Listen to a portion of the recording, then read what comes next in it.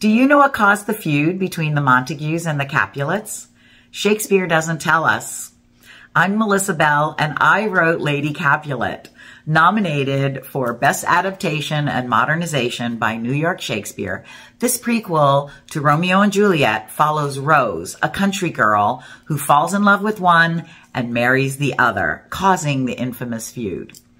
The inspiration for writing Lady Capulet came from this challenge made by Ben Brantley in his 2013 New York Times review of Romeo plus Juliet at the Classic Stage Company. He said, Perhaps this production will inspire some young Tom Stoppard type to come up with his own Rosencrantz and Guildenstern are dead style rewriting of Romeo and Juliet, seen from the perspective of her wanton ladyship.